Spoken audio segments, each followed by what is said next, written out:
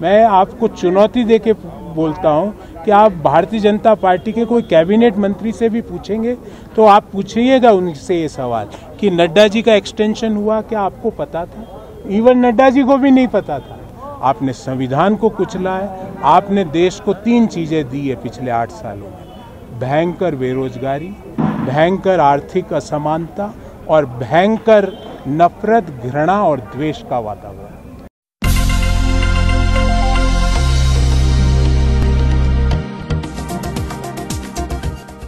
आज छः करोड़ कांग्रेस परिवार के सदस्यों के लिए गर्व का दिन है, क्योंकि दुनिया में ऐसी कोई पॉलिटिकल पार्टी नहीं है जो अपने मुखिया का चुनाव, सीधे चुनाव के तहत जहाँ देश में फैले हुए 9000 से ज़्यादा पीसीसी डेलीगेट अपने प्रेसिडेंट का चुनाव करते हैं। इसलिए जब हम लोकतंत्र और संविधान की बात करते हैं तो हम लोकतंत्र और संविधान कैसे लागू किया जाता है, उसकी एक मिसाल भी प्रस्तुत करते हैं।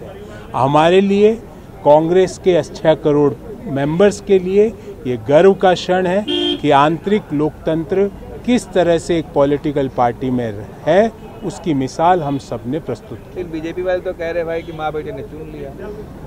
देखिए 9000 से ज़्यादा लोगों का वो अपमान कर रहे हैं। मैं बीजेपी को चुनौती देता हूँ कि दो प्रश्नों का उत्तर दें। उनको भी 40-50 साल हो गए पार्टी बने।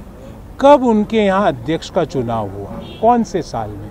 क्या राजनाथ सिंह, आडवाणी, वाजपेयी, गडकरी जना कृष्णमूर्ति कुशाभाऊ ठाकरे, अमित शाह जेपी नड्डा, कौन सा अध्यक्ष चुना चुन के वहाँ पर पहुँचा? मैं उनको चुनौती दे के पूछता हूँ कि उनका इलेक्टोरल कॉलेज है क्या? उनके यहाँ दो ही सिस्टम है। पहले नागपुर से आ जाता था अध्यक्ष, अब नागपुर मोदी जी के सामने घुटने टेक चुका है। तो अब मोदी और शाह एक कमरे में जाते हैं और नए अध्यक्ष का ऐलान उस कमरे से कर देते हैं। मैं आपको चुनौती दे के बोलता हूँ कि आप भारतीय जनता पार्टी के कोई कैबिनेट मंत्री से भी पूछेंगे तो आप पूछिएगा उनसे ये सवाल कि नड्डा जी का एक्सटेंशन हुआ, क्या आपको पता था? इवन नड्डा जी को भी नहीं पता था। इसलिए वो ऐसी बातें ना करें। उनके इन बातों का कोई महत्व नहीं है। हमारे यहाँ नौ हज़ार से ज़्यादा लोगों ने डायरेक्ट मतदान करके ये अपने अध्यक्ष का चुन अध्यक्ष पद के व्यक्ति को चुना है। ऐसे व्यक्ति को चुना जिसका 55 साल का आइडियोलॉजिकल कमिटमेंट है, जो 50 साल तक लगातार लोगों द्वारा चुन के विधानसभा या लोकसभा तक पहुँचा हो, जो एक मील मजदूर का बेटा हो। जो मील मजदूर के बेटे से लेके ब्लॉक कांग्रेस के अध्यक्ष पद से लेके, डिस्ट्रिक्ट कांग्रेस के अध्यक्ष पद से लेकर प्रदेश कांग्रेस के अध्यक्ष पद से लेके सीडब्ल्यूसी के मेंबर के पद से लेकर आज वो व्यक्ति, जो एक मील मजदूर का बेटा था, है, वो आज कांग्रेस का अध्यक्ष बना। हम सब लोगों को इस बात का बहुत गर्व। बीजेपी से हम पूछना चाहते हैं कि पहले भी सोनिया गांधी जी चुन के आई थी। उनको ज्ञान नहीं है। मैं उनके बारे में टिप्पणी नहीं करना चाहता। उनको ज्ञान नहीं है, उनको पता ही नहीं देश दुनिया में क्या हो रहा है। वो तो बोल देते हैं, पहले भी सोनिया गांधी जी चुन के आई थी, उससे पहले सीताराम केसरी जी चुन के आए थे, उससे पहले भी कई बार चुन के आए तो इसमें हम तो चुन रहे हैं ना। हमारे यहाँ लोग डायरेक्ट वोटिंग से चुन रहे हैं। मैं चुनौती दे रहा हूँ, पचास साल में आपके यहाँ वोटिंग कब हुई? बस बता दो मुझे। बाकी मैं आपके सारे आरोप सही मान लूँ। कब, किस साल, कौन सा अध्यक्ष उनके यहाँ चुनाव के द्वारा बना?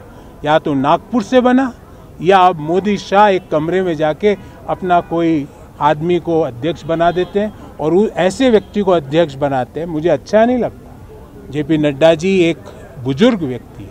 मैंने एक वीडियो देखा कि जब वो अध्यक्ष बने और वो मोदी जी के साथ जा रहे थे तो अमित शाह ने उनका हाथ पकड़ के इस बेरहमी से पीछे किया, जैसे तो कोई बहुत ही गलत आदमी उस उस पर्टिकुलर जगह आ गया। वो अध्यक्ष पद की उन्होंने हैसियत बता दी। हमारे यहाँ ये परंपरा नहीं है। हमारे यहाँ ये परंपरा है कि जब खड़गे साहब चुनाव जीते तो सोनिया गांधी जी उनके घर जाकर उनको बधाई देकर हमारे यहाँ ये परंपरा है कि राहुल गांधी जी से जब पूछा गया कि आप क्या करेंगे तो उन्होंने कहा, Congress president is supreme he will decide what I have to do so हमारे यहाँ यह परंपरा कभी अमित शाह ने बोला कि नड्डा जी बोलेंगे जो मैं करूँगा। कभी मोदी ने बोला कि नड्डा जी बोलेंगे जो मैं करूँगा। तो इसलिए ऐसी बातें ना करें।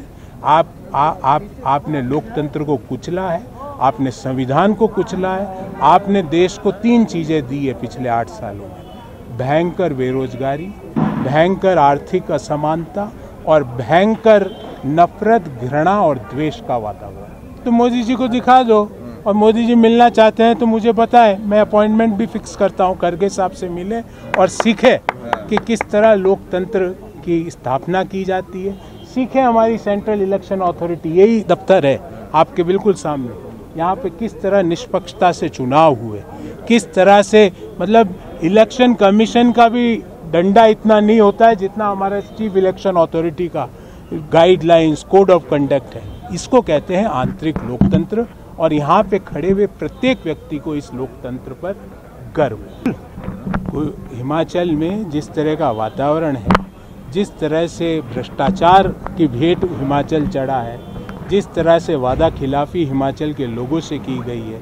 आपने बाई इलेक्शन के भी रिज़ल्ट आपको याद होंगे। मेरे को याद नहीं है ऐसा कोई आज़ाद हिंदुस्तान में कोई उदाहरण है, जहाँ पे जिस पार्टी का राज्य में सरकार है, उस पार्टी का एमएलए बाई इलेक्शन में अपना डिपॉजिट खो देता है। वो हिमाचल में हुआ है। तो हिमाचल का नतीजा तो बाई इलेक्शन में ही साफ़ हो गया था। आगे जो नतीजे हैं, वो और भी आगे नवंबर में साफ़ हो जाएँगे। पहले उठा लेना चाहिए था, नहीं उठा लेना चाहिए था, पर मैं ये कह रहा हूँ कि सही समय पर सही कदम हमने उठाए। कन्याकुमारी से कश्मीर तक जिस तरह से राहुल गांधी जी भारत को जोड़ने का काम कर रहे हैं। और मैं आप सब लोग सब जानकार लोग हैं। आप सब लोगों को सब जानकारियाँ मैं आपसे पूछता हूँ ऐसा कोई ऐसा पॉलिटिकल पार्टी का नेता है जो 3,570 किलोमीटर सर्दी गर्मी बरसात आंधी तूफ़ान रोड पे रोज़ तीस किलोमीटर चलने की हिम्मत रखता हो? सिर्फ़ एक व्यक्ति है उसका नाम है राहुल गांधी। जो आज जिन्होंने 1500 किलोमीटर की यात्रा भी पूर्ण कर ली, और आप यात्रा में काफिला देखो एट ए टाइम लाख लोग से ज़्यादा रहते हैं यात्रा में। और ये भारतीय जनता पार्टी की तरह भाड़े पर लाए गए लोग नहीं हैं। ये स्वयं अपने विवेक से, क्योंकि देश में जिस तरह से वातावरण है, कटुता का, घृणा का, द्वेष का, बेरोजगारी का, महँगाई का आर्थिक असमानता का, गिरते हुए रुपये का उस वातावरण से युवा, महिलाएँ, व्यापारी, मध्यम आय वर्गीय परिवार, किसान, मजदूर सब परेशान हो चुके हैं। वो आज जिस तरह से भारत जोड़ो यात्रा का भाग बन रहे हैं, मैं आपको पूर्ण जिम्मेवारी से कहता हूँ कि 2024 में भारतीय जनता पार्टी का घर बैठना निश्चित है। देखिए, हिंदी में एक कहावत है कि जब आपको कोई चीज़ समझ में नहीं आती है तो आप इस तरह की बातें करते हैं। निर्मला सीतारमन जी को हर चीज़ का ज्ञान है सिवाय अर्थशास्त्र के। अर्थशास्त्र का, इकोनॉमिक्स का ई नहीं पता उनको। बाकी उनको सब ज्ञान है। अर्थशास्त्र का ज्ञान नहीं। इसका नतीजा ये हुआ कि वो इस तरह के कुतर्कीय बयान देती है। कभी बोलती है, गाड़ियाँ इसलिए नहीं बिक रही क्योंकि लोग ओला में चलते हैं। कभी बोलती हैं और मैं उनका, उनकी कोई अपमान नहीं करना चाहता। कभी बोलती है, प्याज के दाम बढ़ रहे हैं तो मैं क्या करूँ? मैं प्याज नहीं खाती। अब बोला उन्होंने कि रुपया नहीं गिर रहा है, डॉलर बढ़ रहा है। मैं उनको एक जानकारी देना चाहता हूँ कि दुनिया की जो एमर्जिंग मार्केट इकोनॉमीज़ का जो क्लस्टर है, जिनमें सारी एमर्जिंग इकोनॉमीज़ का जो बास्केट है, वो आठ जो वो छः परसेंट की गिरा सारी इमर्जिंग इकोनॉमी और हमारा रुपया उसी दौरान आठ प्रतिशत गिरा। निर्मला सीतारमन जी इसका जवाब दीजिए। क्यों आप अपनी इस तरह की कुतर्कीय बयानों से देश का सर विदेशी धरती पर झुकाती क्यों आप इस तरह के जो आ, ये सारे बयान आपकी अक्षमता को जताते हैं आपको आपकी नासमझी को जताते हैं? मैं आग्रह करूँगा कि विदेशी धरती पर जाके इस तरह की कुतर्कीय बयान ना दें, इससे देश का सर नीचे झुके